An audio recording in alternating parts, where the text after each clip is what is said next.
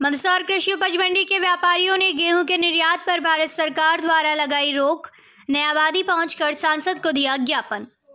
मंदसौर कृषि उपज मंडी के व्यापारियों ने आज एकत्रित होकर सांसद सुधीर गुप्ता को एक ज्ञापन देश के प्रधानमंत्री नरेंद्र मोदी के नाम दिया है, जिसमें मांग की गई है कि गेहूँ के निर्यात पर भारत सरकार द्वारा लगाई रोक हटाने अथवा पूर्व से पोर्ट पर माल को निर्यात की छूट देने के संबंध में यह ज्ञापन दिया है। भारत में अन्नदाता किसान के अथक प्रयासों से देश में गेहूँ की पैदावार अच्छी हुई है। केंद्र सरकार ने गेहूँ के निर्यात करने का निर्णय लिया, जिसके कारण व्यापारियों ने मंडियों में किसानों को उनकी उपज का भाव सरकारी खरीद के भाव से ज़्यादा देकर खरीदा और उस माल को एक्सपोर्ट करने वालों को विक्रय किया।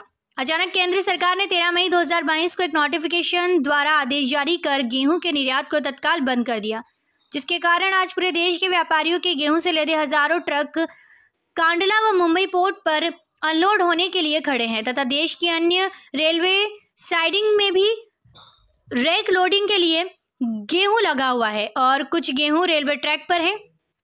इस नए आदेश के कारण निर्यातक अपने सौदे वापस ले रहे हैं, जिससे व्यापारी बर्बाद की कगार पर खड़ा हो गया है तथा जो माल पोर्ट पर है, उसके भंडारण की सही व्यवस्था न होने के कारण गेहूँ खराब हो सकता है, जिसका सीधा प्रभाव निर्यातक व्यापारी के साथ अन्नदाता किसान पर भी पड़ेगा।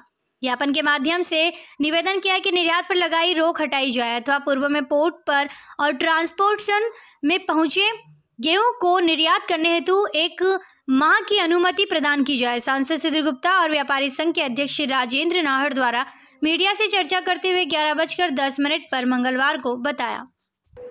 नहीं, व्यापारियों का कुछ सौदे हैं, गेहूँ से रिलेटेड हैं, जो अभी एक्सपोर्ट हो रहा था गेहूँ।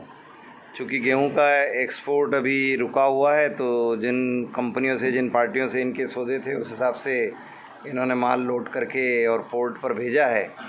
तो ये एक तात्कालिक उठी समस्या है उसके निदान के लिए हम ऊपर के अधिकारियों से बात करके और समीक्षा करके आज बताएँगे कि क्या सिचुएशन से हमारे व्यापारी भाइयों पर क्या असर पड़ रहा है।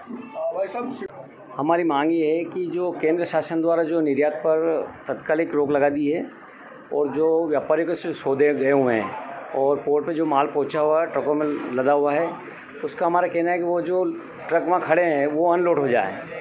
ये हमारी मेन मांग है और जो इन्होंने केंद्र शासन ने जो समय नहीं दिया हमको समय चाहिए कि कम से कम जो सौदे हैं वो पूरे हो जाए उसके बाद आप कार्रवाई करें। सांसद जी ने कहा कि ऊपर हम ऊपर बात कर रहे हैं उसके बाद आप जैसे भी हो हम शाम को मिलेंगे आपसे। नहीं होता तो फिर क्या?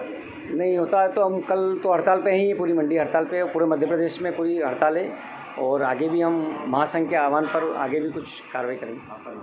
राजेंद्र हाँ।